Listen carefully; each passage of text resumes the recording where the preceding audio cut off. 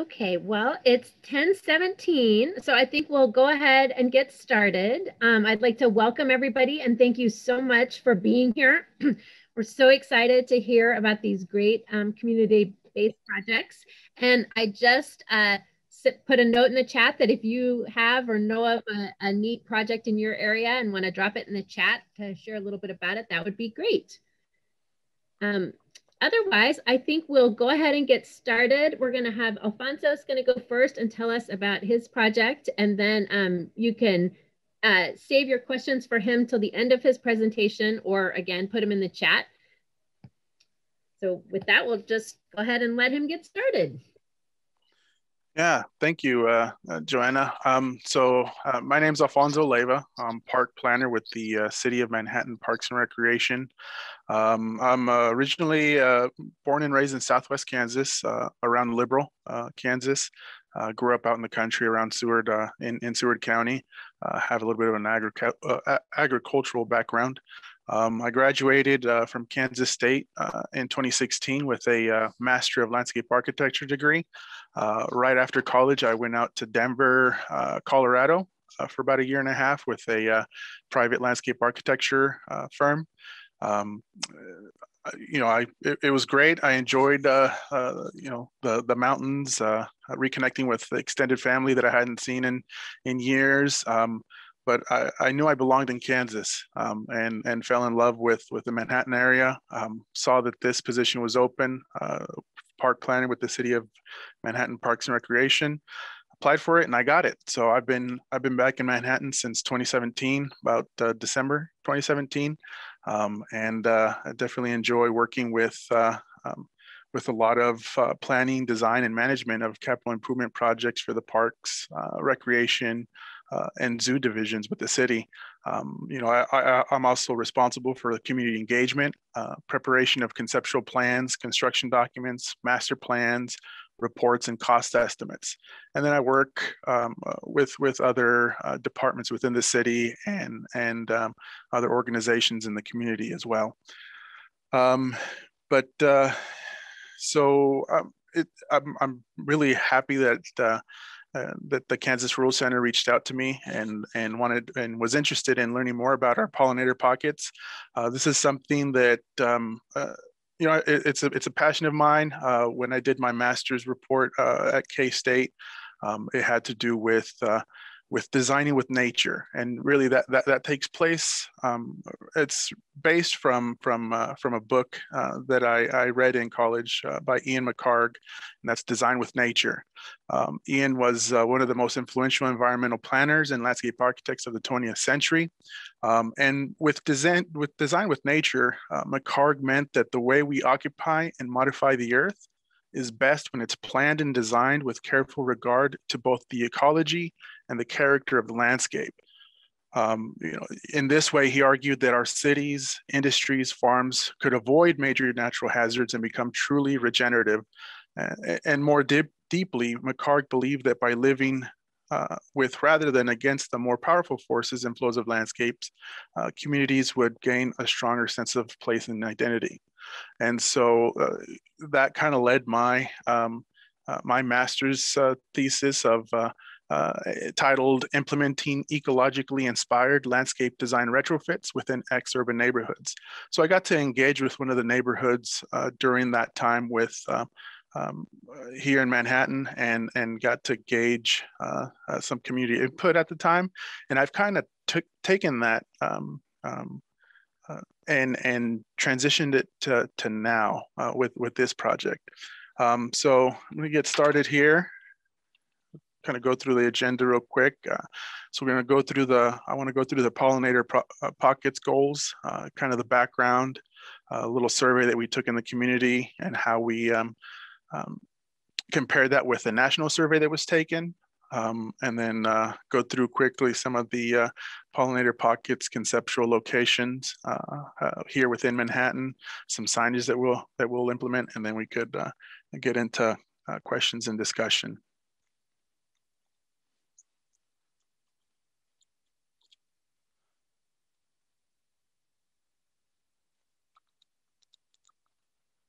There we go. So the goals of Pollinator Park, it's really is to increase the pollinator species within our parks, uh, decrease the invasive species, increase ecological awareness uh, through social media uh, and, and other forms, and then uh, proactive learning through community engagement.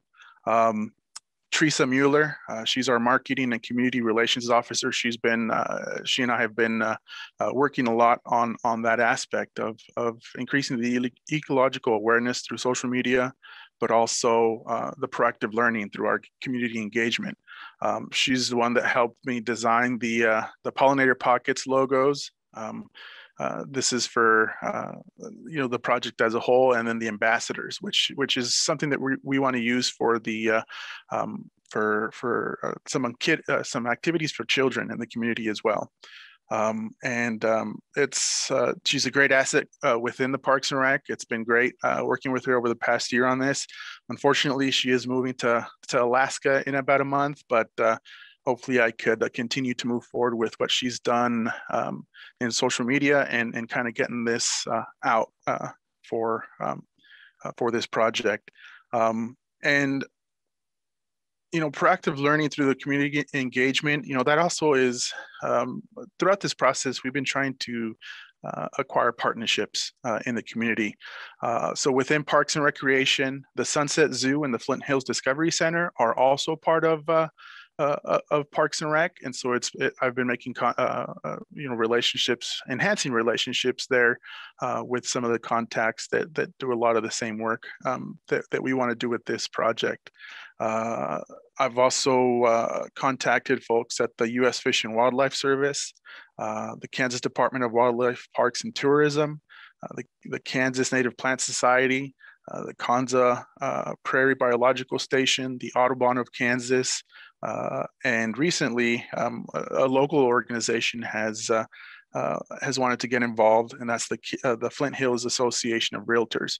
So definitely a lot of support here in the community, and want to uh, expand on that as well. So a little bit of background. Um, this oh, so it would have been just before COVID hit uh, the park superintendent, Casey Smithson, and I, uh, we're, we're looking at, um, at creating a, a, new turf management, uh, turf maintenance plan for the for the parks.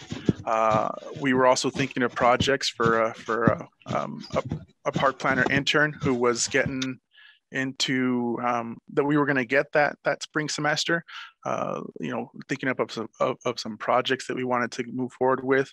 Uh, this was something that was on a back burner. Um, Casey and I wanted to, to move this forward, but we just didn't have uh, the time. So this was a great project to, to have an intern work on to get started. Uh, unfortunately, you know, once COVID hit, um, uh, we all got sent home. Uh, we worked from home. My intern at the time, she worked from home, home a little bit as well. Uh, but then ultimately we had to let her go there towards the uh, the end of March, beginning of April. Um, so I kind of picked up from there, uh, starting in the summer, um, and and did an uh, you know analyzed our parks. We have about 30 parks within Manhattan. Uh, looked at you know over 600 acres of of parkland um, that we, we we maintain. And so there's definitely areas that we thought that we could uh, uh, minimize the mowing, put it on some sort of uh, uh, scheduled uh, mowing, but then and then also implement uh, native plants to to um, to really benefit the, the pollinators as well.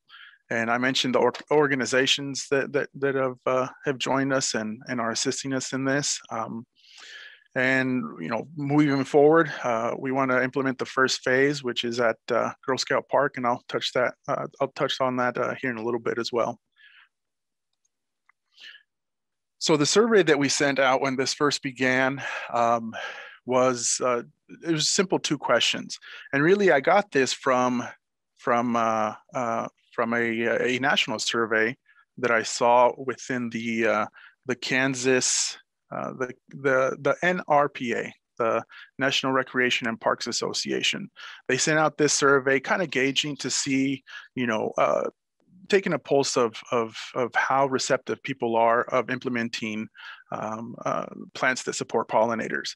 Uh, and there was a, a, a lot of support, uh, you know, 95% of Americans, and this is out of about a thousand, I think, yeah, about a thousand and two adults 18 and over who were surveyed. And then and the second question was, you know, how comfortable do you feel implementing these items? And uh, as, as you could see there, uh, only 34% of Americans were completely or very confident in knowing what to do or, or how to implement uh, their own uh, um, butterfly gardens and such. So we used a lot of the, we used the same questions because I wanted to compare. All right, how how do Manhattan residents feel about these uh, these uh, items as well? And we actually we we were um, we exceeded uh, what was found nationally. I had about um, 400 between 400 and 500 uh, respondents of the survey. Uh, so we had almost 98% of, of, of, those surveyed thought that the that the city should make um, uh, special efforts to create designated areas for plants uh, to support the health and growth of pollinators, and then little over 50% were confident in knowing what to do uh, to get that implemented. So it was it was great seeing that information, uh, seeing that data, um, knowing that the community was receptive, and so we wanted to push forward with with this pollinator pockets. Um, so this map shows you uh, Manhattan with a little bit of the uh, uh, uh, rural component as well. And the, the yellow stars are existing pollinator pockets on public property. And so uh, there's, you know, there's some within the area. Um, uh, when, when I uh, analyzed our parks and looked at where we could implement these, these, these pollinator pockets, um, I, you know, I looked at our 30 parks um, and uh, looked at uh, potentially implementing in this first phase about 18 acres within our parks um, to, to plant um, uh, native vegetation uh, to, to support our local pollinators. Um, and so the this uh, the peach colored uh, um, details where we would implement um, uh, this first phase. So we start to fill in some of those gaps that we see within the community.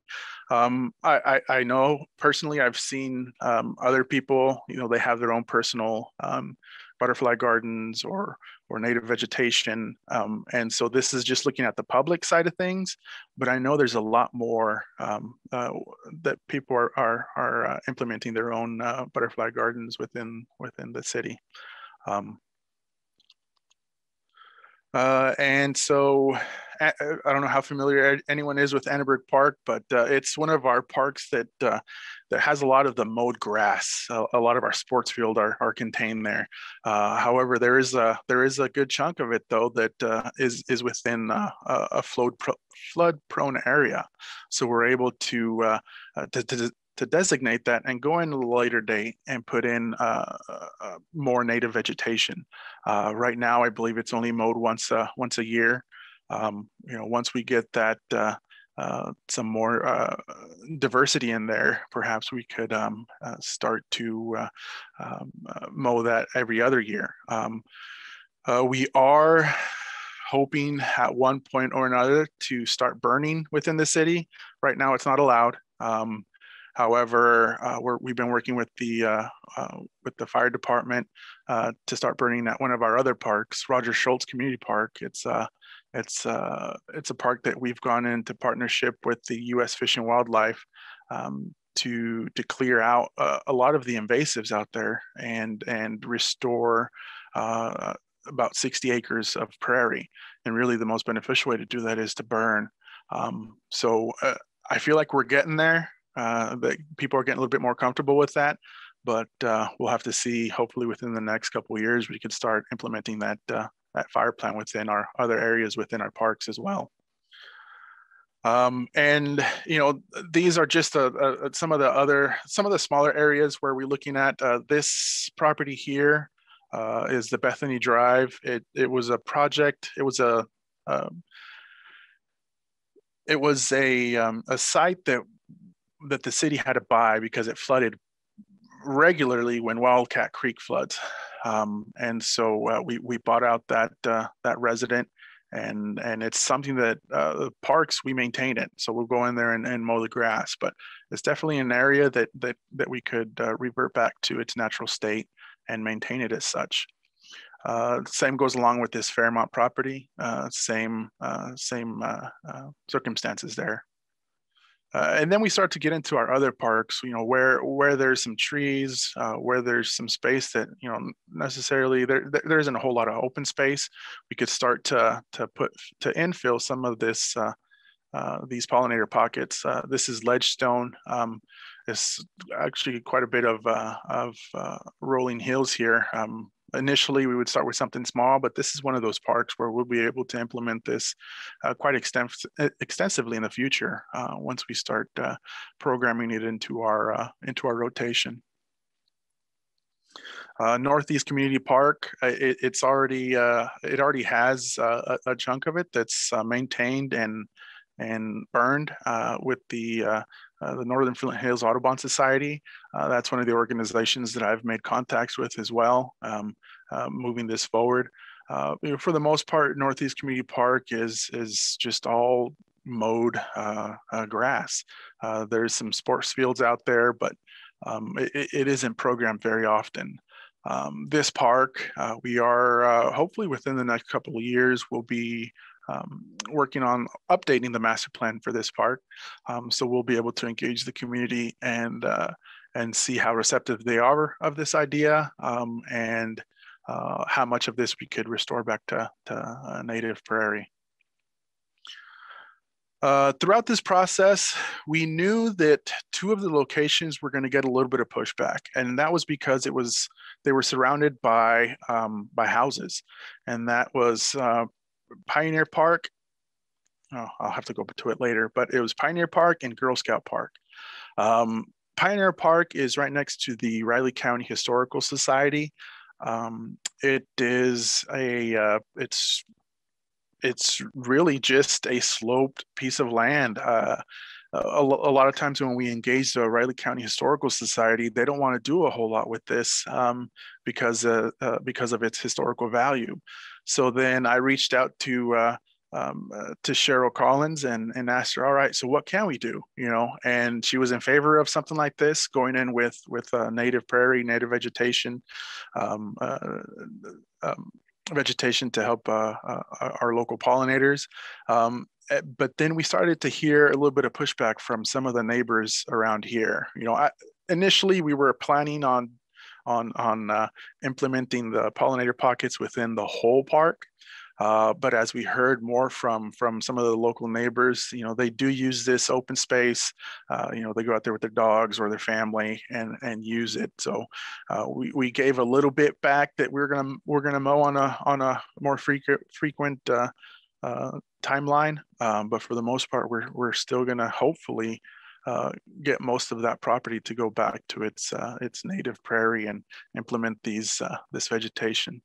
Um, but but we knew that going in. I mean, it was something that that I knew we were going to get some sort of, uh, pushback. Uh, this presentation, I presented it to our Parks and Recreation Advisory Board as well. Um, they had received some comments, but for the most part, it was all favorable. Uh, a lot of people wanted to see this uh, th this initiative get implemented. Um, this is up at Stagg Hill. It's uh, it's somewhere where there is a little bit of uh, erosion from stormwater. Again, we could use rain gardens. We could use uh, vegetation in these instances, and and uh, and increase our overall um, area where we can implement these uh, uh, this native vegetation. to support our local pollinators, Warner Park. It currently it currently has quite a bit of open space. Um, uh, I recently completed the master master plan for this uh, park, uh, probably about a year or two ago, and um, we got a lot of good feedback from the from the neighbors. As you can see, it's surrounded completely by uh, by residential uh, um, property. Um, so there was quite a bit of input, uh, it, it, and at, at, one point it was quite contentious because a lot of the so a local organization. Um, uh, the disc golf groups, they wanted to uh, expand the nine hole disc golf that they have over here uh, on the on the east side. They wanted to expand it and expand expand that into 18 holes throughout the park, but there was a lot of opposition from the uh, from the local residents, and ultimately we kept it at nine. Um, but we are going to enhance the trails, and we did talk about increasing um, spaces where we would uh, wouldn't mow as often. Um, again, to to increase that uh, biodiversity uh, and uh, and such. Um, so this is Girl Scout Park. I mentioned this earlier when I said, you know, I, that we knew we were going to get some opposition uh, uh, from some of the neighbors, and it was actually this is where we're going to start our first phase. The first part of our first phase is going to be here at Girl Scout Park. Um, the HOA in this area actually reached out to me and wanted me to present to them what we were doing with this initiative, and they were fairly receptive. Um, uh, in previous engagements with them, they they, they haven't been receptive. Uh, we we recently put in some trails over here to along this area, and they pushed back a little bit on that. However, they they really really like this initiative and were supportive of it. Um, uh, we didn't get a whole lot of opposition in this area. Uh, we did get some feedback that um, some of the fraternities and sororities along this area do use this open space, either a pickup football game or, or such. And so with that feedback, you know, we decided to then bring back, uh, open up that space so that the community could then uh, use it as, as they have before. Um, but we still want to, uh, you know, start to implement the pollinator pockets within the park uh, as well. So definitely working with those with those who use the park, uh, listening to uh, to make sure we're we're getting everybody's uh, um, input that uses the park, and then also um, be supportive of these types of initiatives. So um, uh, part of this is also, like I said, uh, is the ecological awareness, um, and so uh, part of that is implementing these signs. You know, this these are going to be 36 by 48 signs that we're going to have within these areas that kind of tell you know tell the story you know, what are pollinators, what, what does, how does pollination work, so on and so forth. Um, and uh, I, I, want to redesign this a little bit to include our partners, uh, somewhere we could put stickers and such as we build those, those um, connections, those, those partnerships, you know, I, I want to um, uh, start uh, uh, getting them recognized uh, in these signs as well. Um, you know, uh, the Girl Scout Park was the first park where um, the Flint Hills, uh, uh, uh, the the Realtors Association, uh, they reached out to me and wanted to get involved, and you know a, a, handful of their members um, came and and helped us pull weeds. I mean, uh, it, it, was just as easy as that. Um, uh, the the U.S. Fish and Wildlife they they assisted us by um, uh, by analyzing Girl Scout Park and Pioneer Park and seeing what we have there. Um, over the past year, we did we did let those areas grow out um, and to, to kind of get an idea what we have there already. And it turned out that Girl Scout Park was was uh, it didn't need a whole lot of um, uh, of, of changes for it to start um, uh, being a benefit to our local pollinators. Uh, so we're we're we're definitely going for that low, lowest hanging fruit. Uh, Pioneer Park is going to take a lot more work. Uh, there are some invasive species there that that'll need to get handled. Um, but we're moving forward with Girl Scout Park, and uh, it seems this uh, the Flint Hills Association of Realtors are really taking ownership, and that's really what we want to see: uh, people to feel a little bit of sense of pride in, in parks that they're helping, uh, you know, change from from open spaces that are just mowed, you know, every two to three weeks to to, to um, implementing these pollinator pockets and benefit our local pollinators. So um, that's uh, kind of what we're doing here in Manhattan, Kansas, in our park system. Uh, definitely, uh, again, grateful that I was uh, had this opportunity to share this with you. Um, I've uh, recently been uh, I've recently been contacted by um, another member that I've worked with in the U.S. Fish and Wildlife, Lauren Mendenhall. She's the president of the Kansas Wildlife Federation. Um, she's asked me if I'd be interested in uh, in joining their board of directors, and uh, so I accepted. So I'll be part of that organization moving forward. So this this this project has really given me some. Uh, uh, some contacts that I can make and to, to kind of get this, uh, make those connections and, and, and push and, and help this initiative here in Manhattan and then hopefully regionally as well. Um, so, but again, thanks for thanks for the opportunity, and be happy to answer any questions.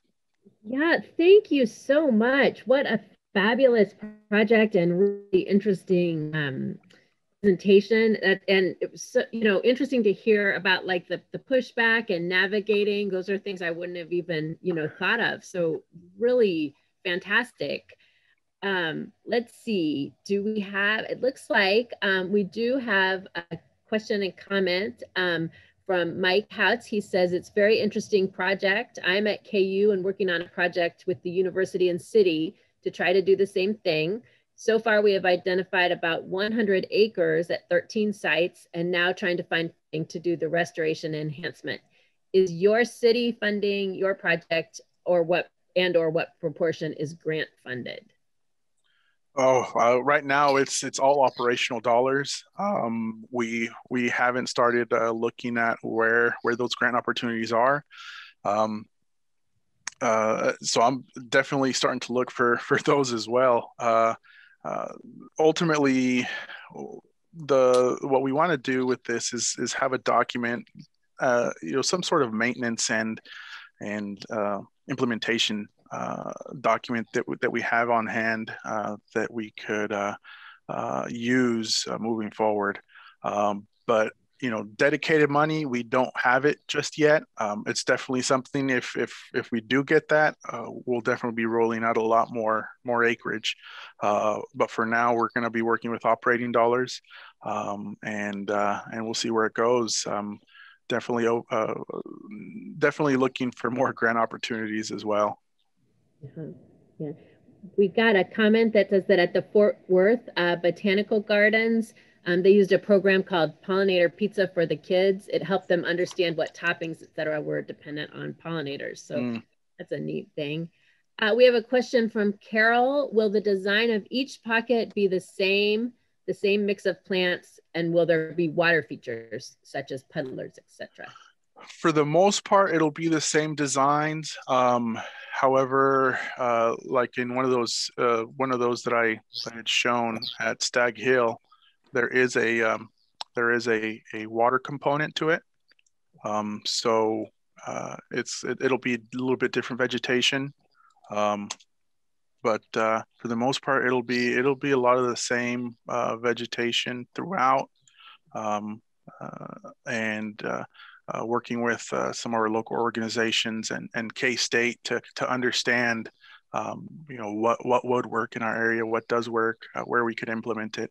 Um, and uh, uh, Joanna, I'm glad you brought up, uh, um, you know, some of the um, engagement that we've done on social media that Trees has helped with, you know, during during Pollinator Week uh, we we uh, we pushed a lot of our a lot of these areas that we're going to look at to, to implement this, and so we we included uh, a lot of uh, uh, pollinator items uh, during Thanksgiving. We also did something similar where we, you know, well, the pollinator equation. You know, what what what pollination takes to make your Thanksgiving your Thanksgiving as well as uh, as your Christmas. So this was part of our our engagement and and uh, and also uh, informing uh, our our local residents as well.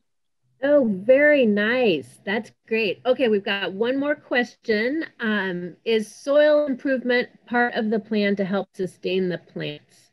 Oh yeah, absolutely. Yeah, we'll have to go in and and uh, and test uh, uh, what we have there and uh, see what we could do to to enhance it a little bit. Um, uh, you know, a lot of the a lot of these parks or a lot of this property at once was was grazed quite a bit, but uh, or farmed, but uh, that'll definitely be part of the analysis.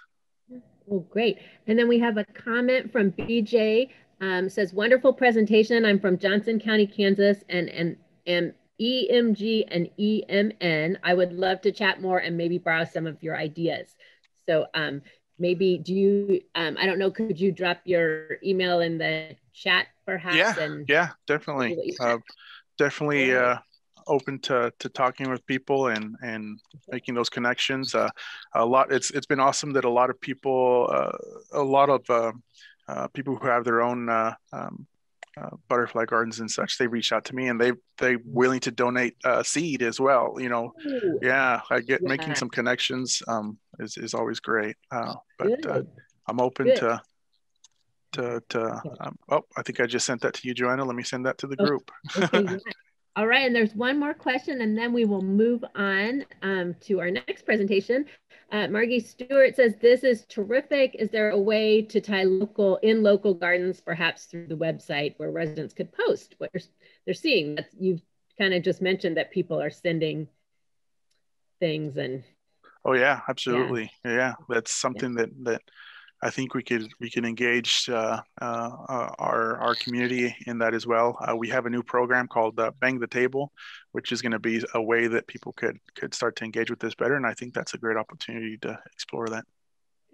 Well, thank you so very very much. Uh, we sure um, appreciate it and learned. I learned so much, and I'm sure everybody else too. And we really appreciate your time. Can't wait to see how the project progresses.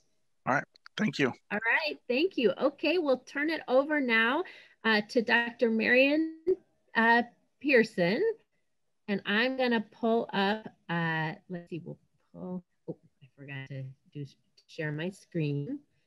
Um, all right, let's see here. Okay, all right. Okay, Dr. Pearson, do you like to introduce yourself and tell us about your project? Sure. Can you hear me okay, Joanna? Yes. Thank you for giving me an opportunity to join you today. I did not know the group. I am so happy to um, meet all these participants and to be here this morning. Um, we're getting ready for a big Sunday game, so everybody root on the Chiefs. Go Chiefs! My name is Dr. Marion Pearson, and I'm a local pediatrician here in the greater Kansas City area. I am originally a Kansas City native, a Kansas City urban native, grew up right near the 18th and Vine Jazz District here near downtown Kansas City, Missouri. I have no agri- no real agricultural background. I've never even had a garden. I've uh, never kept bees, but about 13 months ago, um, we set out to start a nonprofit organization to reclaim vacant and blighted lots and to convert them into honeybee farms. Um, so I'm going to break my presentation and it's going to be a brief one, but I'll break it up into three main sections. Who are we? Why are we doing this? And what's next? so, who we are is again, I am a pediatrician by training. I'm not an agriculture specialist and not even a beekeeper, really. But what I am is a honey honeyphile. I love honey. And I love the medical and medicinal sort of benefits that honey provides.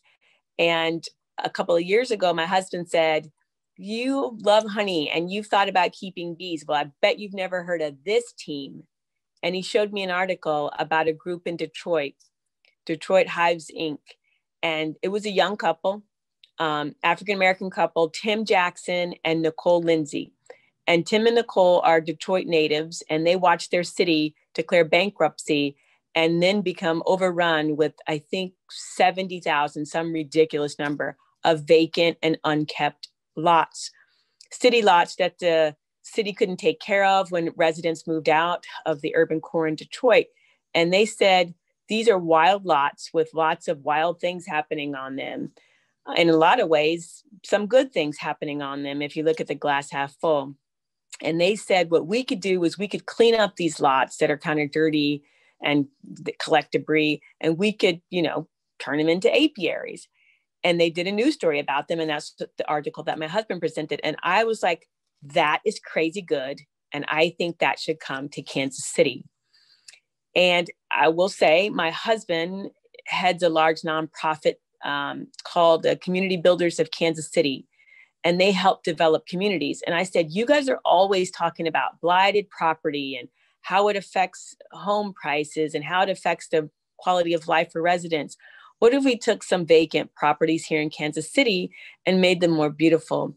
And so I got some friends together, and this is honestly how I did it. I found some friends. I took started taking beekeeping classes um, I had some contacts that had been beekeepers, and I said, Hey, would you be interested in helping me do this? And all my friends said yes. So we got some funds together. We brought the team from Detroit Hives to Kansas City, and we said, Is Kansas City a great place to start something like what you did in Detroit? And they said, Absolutely. And then we took off from there. Again, we got our nonprofit status at the end of 2019. In 20 uh, 20, obviously, um, very quickly into 2020, we were hit with the global pandemic and we had started to think about our launch. Um, in March or April. And we kind of came up with the mission and we said we're still going to do it. So, our mission formally is to bring about greater awareness of the role urban residents play in the creation, preservation, and really expansion of pollinator habitats in the Kansas City metro area. So, formally, again, our mission is through education, community outreach, engagement, and support. That's how we try to achieve our mission. We honestly try to expose the urban community to STEM related entrepreneurism and to a deeper level of knowledge around apiary science. As a scientist, I love the apiary science push. Um, so, what we do is again convert vacant land into pollinator habitats and apiary spaces for honeybees we um, hope that we're contributing to health and wellness of our community since obviously one in every three bites of food is dependent on a pollinator. So that is who we are. Um, we have a why around why are we doing this? And I've given you some of the explanation as to why we're doing it because there's lots of blighted property in, in urban areas and it, grows wild. Um, but what we discovered was if we could think about the work we're trying to do um, in five main categories, we call it our Hive Five. And our Hive Five um, is really, again, our why. We're doing it because the bees are threatened. So we heard earlier today about the rusty patch bumblebee, but also honeybee colonies are dying off. And honeybees are critically important. And although they are not a native bee species to North America, they are still critically important in our food chain. So we're doing it to save the bees, right? Um, we're doing it because urban residents who live around vacant lots deserve to see beauty. No one deserves to walk outside their front door and have to see um, vacant land that is, is collecting garbage. That is just not psychologically healthy for humans. And we felt like, you know, we could do something there. If we made sites more beautiful with native wildflowers, with um, uh, removing uh, invasive species. That could help not only the species that we're targeting in the bees and pollinators, but it would help the humans too. So we're doing it because we feel like this is a way we can add beauty to urban areas where people really were not being intentional about adding beauty. We're doing it because we need a secure food chain. Um, there are lots of food insecurities that plague um, urban areas where large grocery stores will not locate in certain areas, where people don't have access to healthy foods, fresh foods, um, or food that was grown anywhere near where they live. So we felt like we could be a little bit impactful on helping to secure a, a food chain that everyone could be um, helped by and proud of. So we feel like we're impacting the food chain. We've done this through um, a grant that we received. We are entirely grant and donation funded. So we partnered with the Missouri Department of Agriculture, and they actually grant funded us to help um, impact the food chain uh, a bit to, to again grow more food and to not only grow more food, but to teach people how important po- a healthy pollinator population is for growing food. So even if we're not producing hundreds and thousands of pounds worth of food, we are teaching people who um, are growing food. In fact, part of our model is to position our tiny apiaries near already existing community gardens. Because, first of all, you already have a population in the neighborhood that's ready to engage in outdoor activities that recognizes they need and want to grow their own food. And so it's an easy sell, honestly. We heard a little bit about pushback you get from neighbors. But if you already have neighborhoods that have community gardens, again, they're already convinced. Now we just add on the next layer. Oh, if you have healthy pollinators nearby, you will produce more food. And isn't that better than standing outside and producing less food? And people go, oh, for sure it is. So um, we position ourselves near community gardens and again hope that the gardeners find uh, the usefulness and understand our message and then transfer our message to other people. Um, so we're doing it for food. The fourth part of our hive five is stem. Obviously agriculture science is a stem related field. We want more um, urban residents especially minority communities to recognize that the agricultural sciences are for you. You do not have to live out on rural property in order to be an agricultural scientist. You don't have to live on a rural property to become an entomologic um, advisor or specialist or have that sort of career. So, entomology is a science. We've even thought about um, incorporating drone crop monitoring training with the youth that we're working with. So, we're teaching them that, okay, all those hours you spend gaming in your urban home, um, you could actually use some of your gaming skills to become a drone uh, pilot.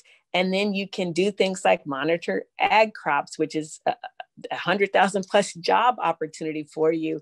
Um, so we're being creative to attract young people again who might be urban residents who don't feel like they are part of the agricultural community and saying, absolutely, you have skill sets and you obviously have some common ground. We all have to eat food uh, and breathe clean air and have fresh water. You have some ownership in this, and this is how you can participate. So again, we're doing it because there's tons of STEM opportunities related to doing things like starting an, an urban apiary. And then we're doing it, and, and the fifth point is not a minor point. We're doing it because there's economic opportunity in getting involved in beekeeping. Um, so we're doing it because there's money, not just, oh, you can sell honey, but thinking beyond that. Pollinator services are a billion dollar industry in the US. So if you become a beekeeper who has a large scale sort of pollinator operation, um, you have an opportunity be, to enter the pollinator world. But certainly there's other opportunities. Even in beekeeping hobbyist sort of circles, there's tons of safety equipment that is for sale across the world.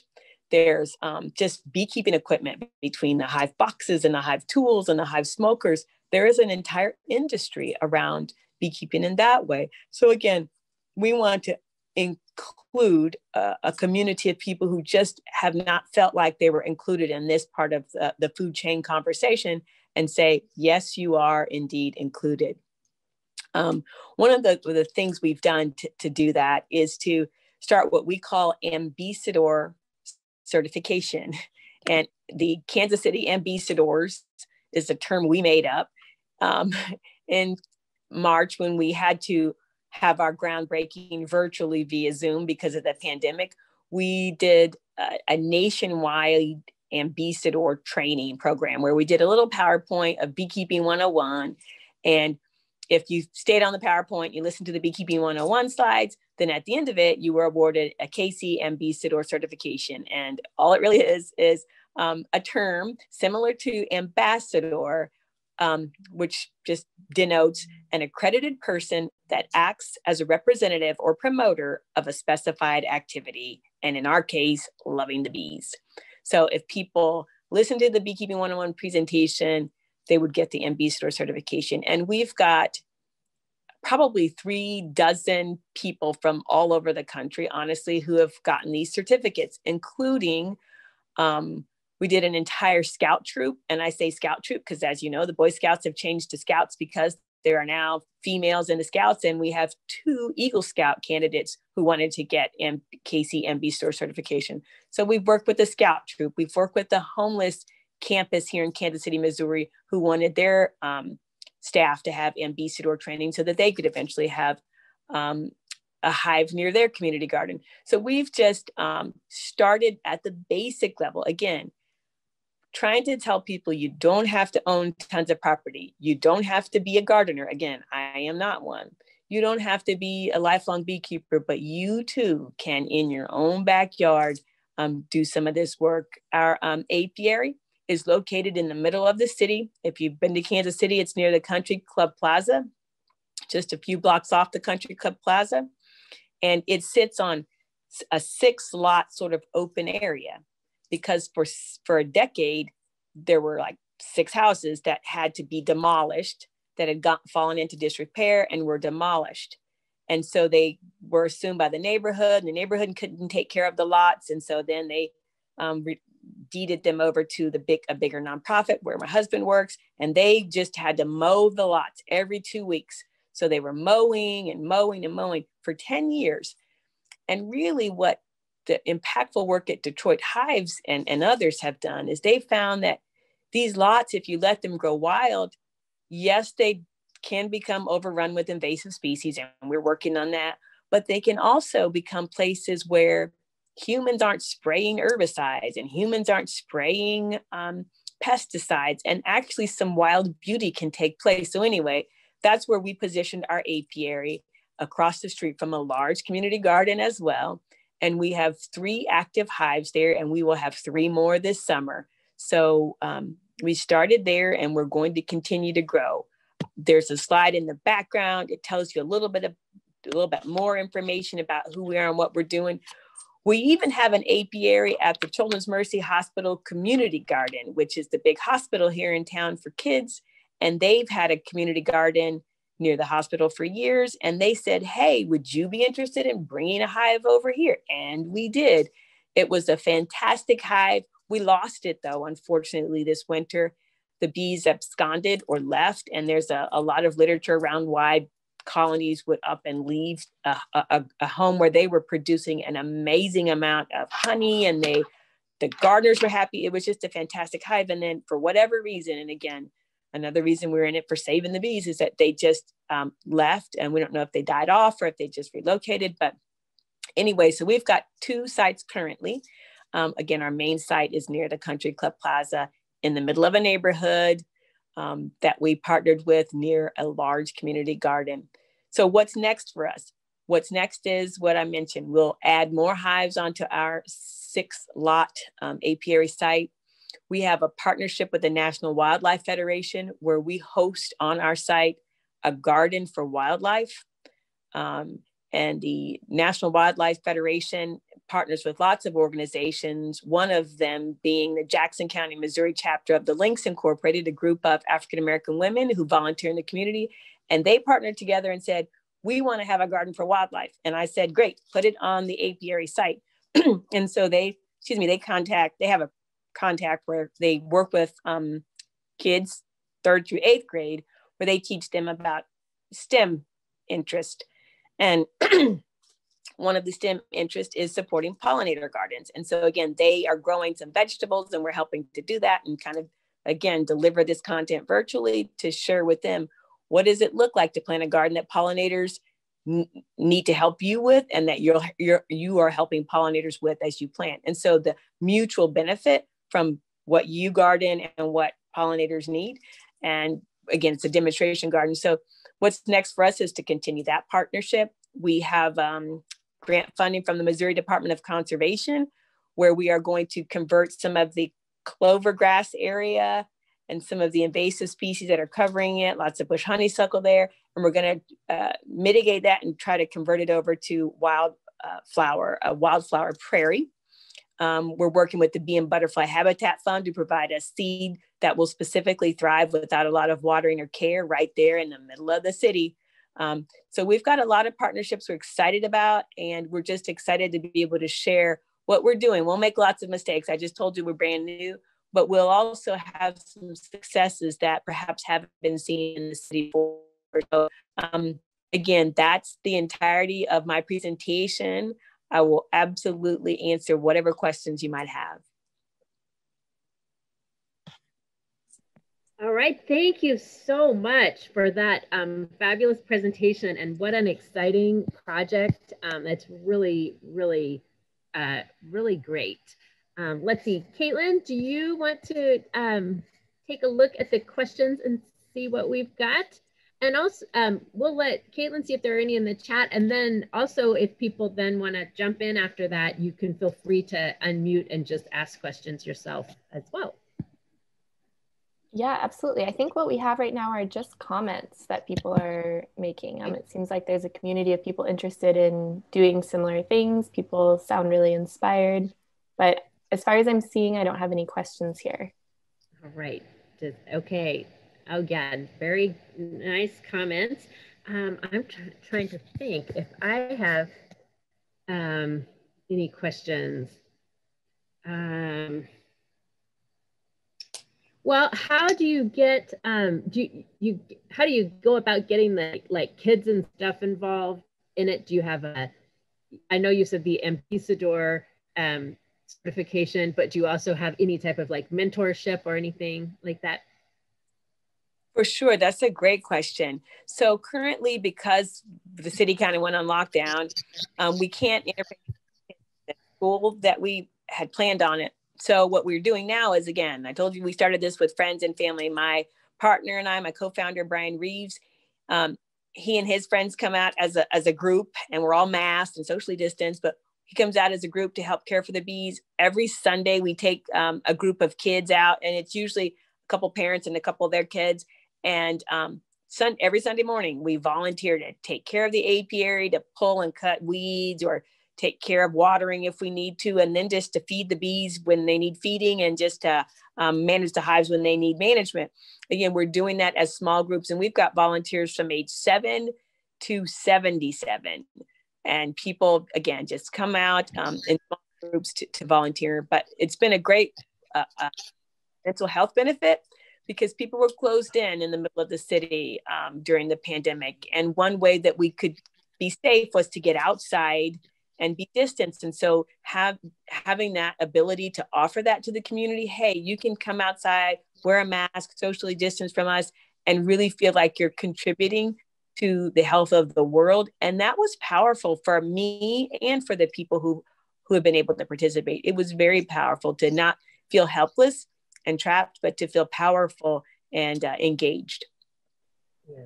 Oh, I can imagine because yeah, we live on a farm, um, and I, we had sort of an influx of people that came out to the farm for you know to get compost or this or that. But I, um, it started to feel like a really nice sort of refuge for people to be able to be around other people and be and still be safe. So I can I can completely relate to that. Mm-hmm. Okay, I am seeing a couple of questions come in, and I skipped one earlier. Sorry about that. This is from BJ, and they're asking if you could share a more specific location of your apiaries because they would like to visit. Mm. So, um, our apiary is at 5030 Wabash Avenue in Kansas Missouri. And if you do visit, we would love you to visit. But if you do visit, what you'll find is we have an awesome partnership with Evergy Energy Company and their green team and the Western Missouri Carpenter's Apprentice Program. And Evergy donated a ton of material, and the Carpenter's Apprentice Program has agreed to provide the labor, and they're constructing an, a beautiful fence for us. And they're fencing it because in the city, there are laws around or ordinances around how tall you can let your weeds grow. And we want to stop mowing. So we're going to let ours grow pretty long. So we have to fence it in so that we don't get into a, lot of trouble. But we also want to be protective of the community. We don't want anybody to engage with our hives in a way that's unhealthy for them or unhealthy for the bees. But if you stop by, you'll see it 5030 Wabash Avenue. Um, the, uh, the Children's Mercy Community Garden is at 22nd and Gillham and you will see it right there on the corner of Hospital Hill on 22nd and Gillham. You'll see the garden, and right behind the garden, on, at the bottom of the hill, there is our hive. I will ask if there's any visitors to be respectful. There is a community of homeless residents that lives near that site, and uh, we that was one of our challenges. We um, tried to engage with the population that is moves in that area um, to let them know what we were doing and to invite them to ask us as many questions as we wanted. And when we had our first honey harvest, we even shared it um, again with the community that that is experiencing homelessness that lives near that particular site near downtown Kansas City, Missouri. So please oh, that's, that's so fantastic. I was wondering what you did with the honey. So that's really special. Wonderful. Great. And then a question from Tony here. Did you start the 501c to be able to get funding? So we started the 501c3, um, to, yes, as a funding source. But again, this I am a physician, an active physician, and this is not my life's work. I'm not doing this to make money. I'm doing it because it's an amazing thing to be able to have the privilege to work on. Great. And then Margaret Stewart asks, are you documenting these projects with photos? Absolutely. And I probably have more photos than I need to have. In fact, the kids that come and volunteer say, Dr. Pearson, stop taking our picture. No, I'm just kidding. Uh, it, it's it's really fun, and so I'm so happy. So yes, we have tons of photos. We we are on we're on Facebook. Uh, we're going to create a, a photo documentation journal to share with the kids at the ACCPA school that has the National Federation Garden National Wildlife Federation Garden for Wildlife with the links incorporated. So we'll share that link with whoever wants to see that photo journal diary. Great. And then last question that I see, are you working with KC Community Gardens in Swope Park? We absolutely are. In fact, the Kansas City Community Garden and the Giving Grove, uh, they run the large community garden across the street from our apiary. And our National Wildlife Garden for Wildlife raised beds um, are supplied with plants from KCCG. We are a certified youth garden. So if you go on the Kansas City Community Garden website, you will see our little tiny garden at 5030 Wabash because we are a partner garden with them. And then they've been super helpful in advising us because, again, we don't know what we're doing and we need all the help we can get.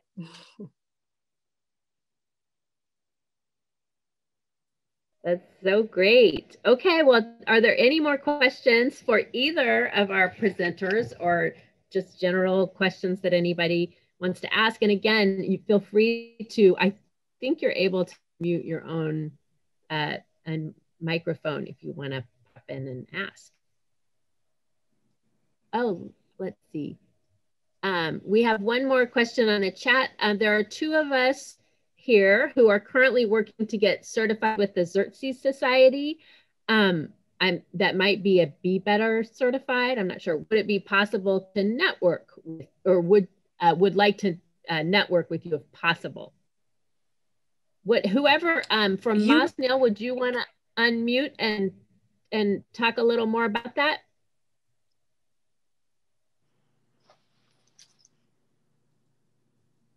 Oh, let's see. You're still muted. Um, Got it. Is that better? Yes. Yeah. Um, yes. My friend Linda McKay and I had gone through the process to get certified on the Xerces. And then when we were going to do our training, COVID came in. So we're kind of like in the process of trying to do some, but uh, we're here in Kansas City area. Or she's in Overland Park and I'm in uh, Pleasant Valley. Uh, but and we've done some of the work with the Food Not Lawns uh, and with some of the inner city gardens and stuff. And we're both community Kansas City community uh, gardens members. So we might want to get together with Marion uh, because the more different groups like this that you can network together, the more you can get done. And I, yeah, I really enjoyed this presentation, even though I came in very late on it. okay, good. And we we have recorded it, and so I think that it will be available if you want to watch it again. Yeah, because really, really wonderful information from both. I mean, and, and I love um, that was a reason we wanted to do this session was to sort of you know, highlight some incredible things that are happening and build momentum. Um, try to, you know, um, create more projects like this around the the states and in the region. Um, it's great for the people and the pollinators and everything. So. Also, I've written on here somewhere. I don't. This is all brand new to me, but somewhere there was a place you could put pictures on the form and. Uh, my food not lawns garden's like 50 feet from a concrete plant in the front yard of this i mean there's dust and stuff everywhere but i planted a, some natives along with the, the food crops and there's some pictures there of the you know local pollinators the bees and the butterflies on uh, golden i had several different kinds of goldenrod and other native plants. But it amazes me still that with all the dust and the noise and the highway and all the industry around here, still if you if you build it, they will come. Excellent. That's good. Um, Sorry, I'm seeing two new questions here. We have one, is there a national network you are connecting with? Is there a national network that I'm connecting with? Is, is I think that's fielded towards you, but either either you or Alfonso can answer. Um, so certainly we're connected with the Bee and the Butterfly Habitat Fund. We're connected with the Kauffman Foundation, who's helping to fund us. Um, we're connected with the National Wildlife Federation and their Garden for Wildlife program. Um, so those are our national connections. Um, and I told you about the one with Detroit Hives. Um, Department of Conservation, Department of Ag, the Shumaker Family Foundation, Evergy.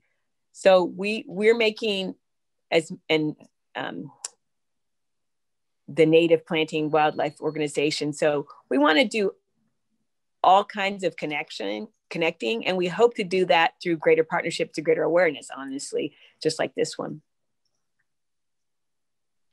Thank you. And then for alfonso have you considered adding apiaries to your pollinator pockets? Uh, no i have not. Um, it's definitely something that uh, that i could uh, start to look around for uh, to see if we have any any local beekeepers. I know there's a there's a handful out there around Manhattan, um, but it'd be interesting what kind of uh, partnership we could create there, and and you know of course work with the with the city process on on on the implications there. But uh, thanks, thank you for the idea.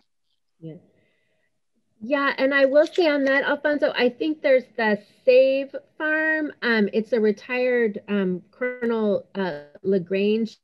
That he had a big beekeeping, a veterans beekeeping training operation there, and then I think they've moved into a farm. So that might be a good one to contact too, because I know he's very knowledgeable about honeybees in that area. so, yeah, and that's the group that's actually has uh, the, they have the hives up at the zoo. That's the zoo is oh, partnering up with them. So okay. Yeah. Okay, great. That's terrific.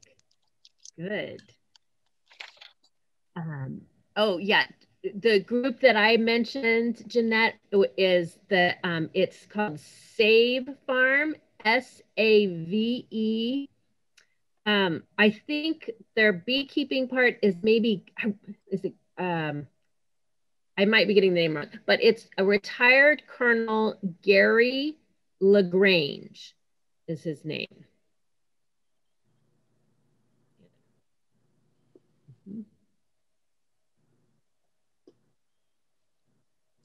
All right. Are there any more questions for either of our speakers?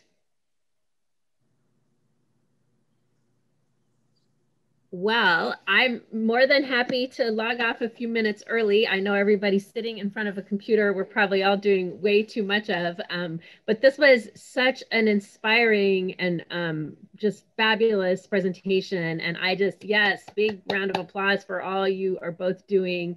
Um, and we want to definitely keep us posted on how things go. Um, it's just phenomenal work and very, very excited. And we appreciate your time so very much. So thank, thank you. Yeah, thank you.